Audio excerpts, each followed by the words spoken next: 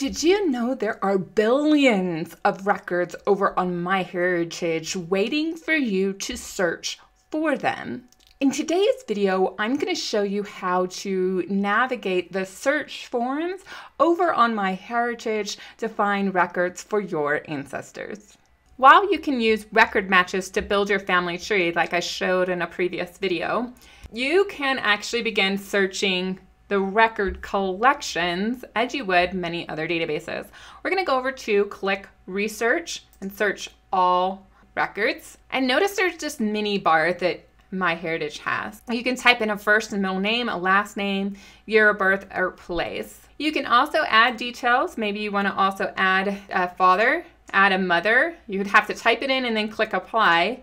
There's also more details you may also add birth, marriage, residence, military, immigration, additional siblings, children and siblings. Maybe you want to add gender or keywords. All of these can go right up here. You can do a surname only search. You can do a first name with no surname. You can do a first name, no middle name, surname, and birth year. You can do a lot of combinations here on this website. So I am going to try to search for George Carlsberger, born 1825.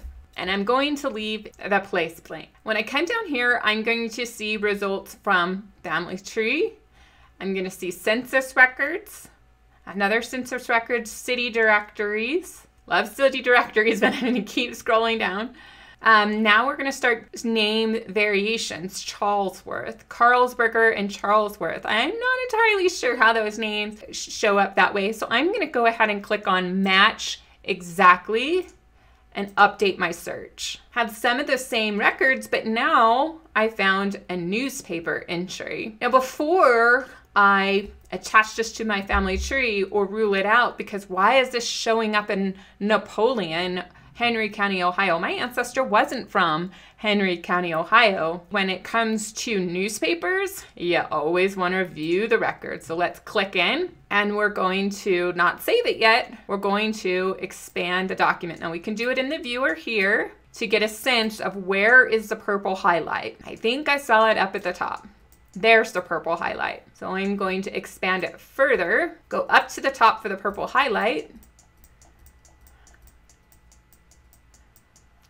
And now we have Columbus, Ohio. You're going to find that a lot in newspapers where things happen in another location but show up in a different record collection. Let's go ahead and look at this article. It's kind of fascinating, I think. And it says Dynamite Fiend Identity of the Columbus Bomb Thrower established on July 16th, so two days before the newspaper was printed. The man who attempted to blow up the residence of City Director of Public Works J.P. Bliss a week ago has been placed under arrest. He, right man, has been. Cons- I think it's supposed to be the.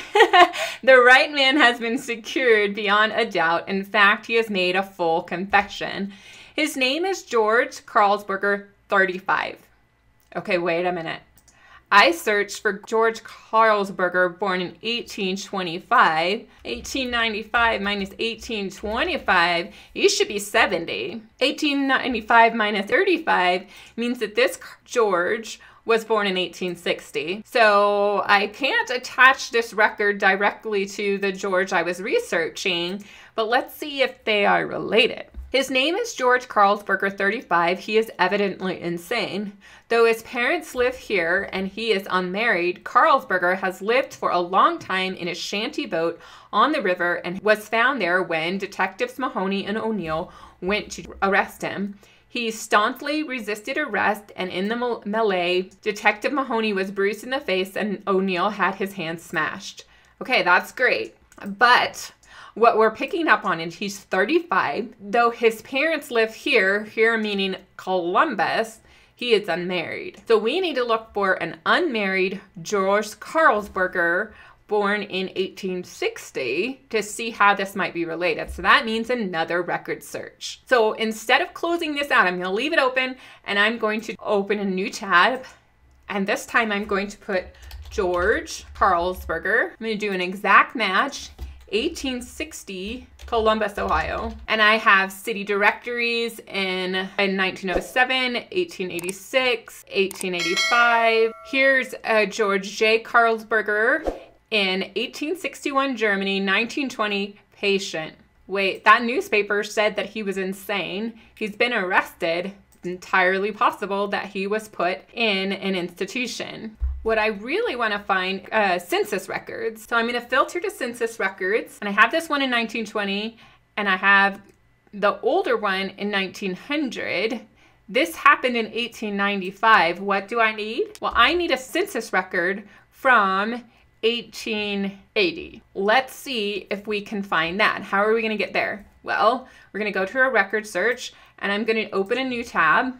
Before I use this form, I'm actually going to filter to the 1880 census. I'm going to type in Carls with the spelling variation, and I'm going to put in a location, and I'm going to search. Now, notice that I put a surname with a question mark. That way it could be an R or no R. And I didn't put a year. I did put a place. The residence place had to be Franklin County, Ohio. And notice I now have an 1860 Carlsberger. So I'm to click on that. The household members are George, Mary, John, and all of these. And it turns out this George is the same as this George that I searched for. To confirm this further, I'm to go see if in the 1900 census, the one that happened after 1895, has a George as an inmate. So I'm in the 1900 census. I'm going to put George, but just part of the name with the asterisk. Carlsberger, but I'm just going to stop at Carl and put an asterisk.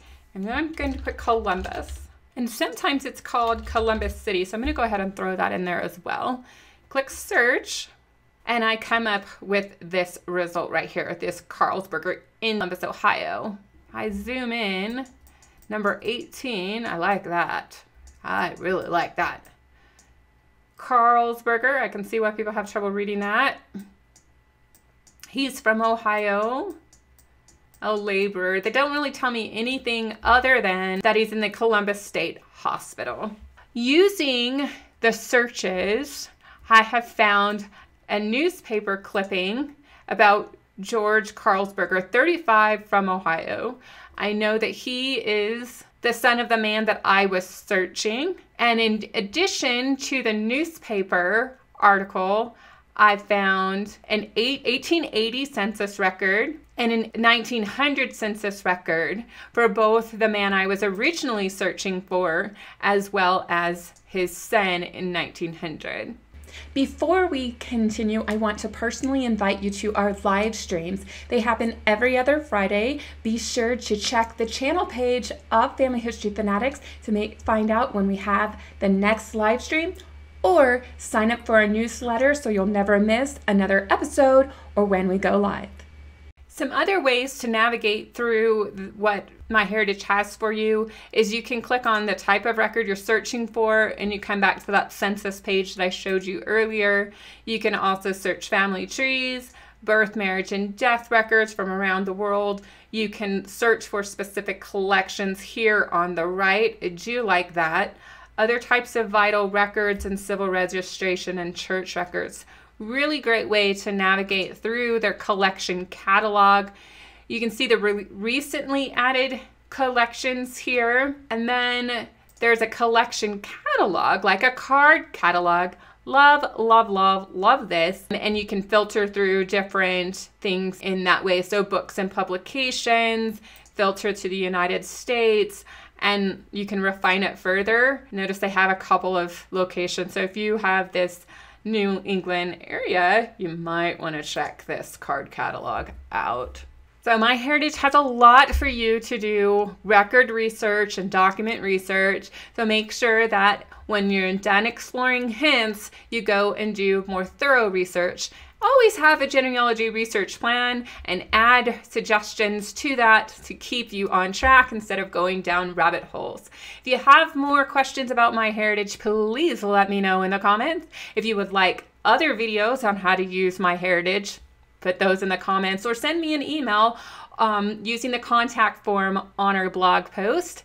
But if you're ready for another tip on how to use MyHeritage, check out this playlist right here.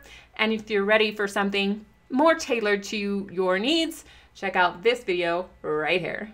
Ooh. Okay, are we ready to do this?